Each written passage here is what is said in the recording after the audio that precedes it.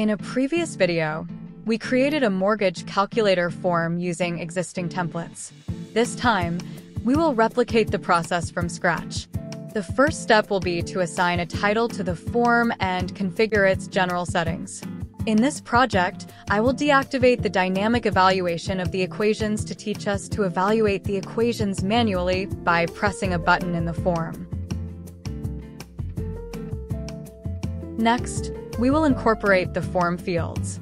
As this is a mortgage calculator form, we will include currency fields for the home price and the down payment. The home price is essential for our calculations, while the down payment value is optional. Additionally, I will add the currency symbol and set them up to dynamically format the values entered by users, enhancing the overall user experience. Another essential field is the numeric field for the loan term length, typically expressed in years. The interest rate is another numerical field, but it has specific characteristics to consider. It is set up as a percentage type, and we have enabled dynamic formatting for user-entered values.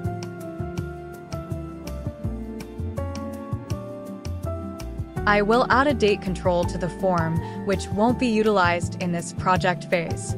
However, it is necessary to generate the amortization schedule in the upcoming video. At the beginning, we disabled the feature that allowed equations to be evaluated dynamically as users input values from the form settings. Therefore, we need to add a button to the form for manual evaluation of the equations. To make this button function as a calculation button, we should set its type accordingly.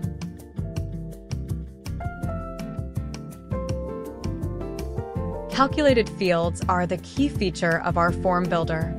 Our plugin offers a wide range of operations over any imaginable project.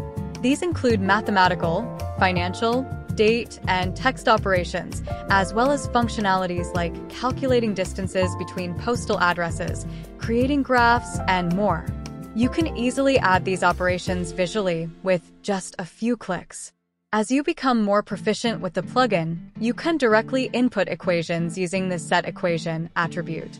In our current project, we will use the calculate payment operation to determine the monthly mortgage payment based on the property value, number of payments, and annual interest rate. The plugin caters to both enthusiasts and professionals with its advanced equation editor. This editor features a sidebar displaying the list of fields and available operations, along with a JavaScript editor equipped with error checking, syntax highlighting, and auto-completion for a seamless equation writing experience.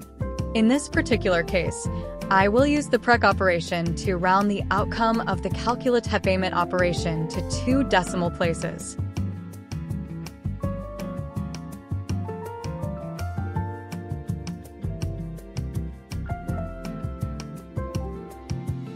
Within just three minutes, we have transformed a seemingly complex form into a functional one.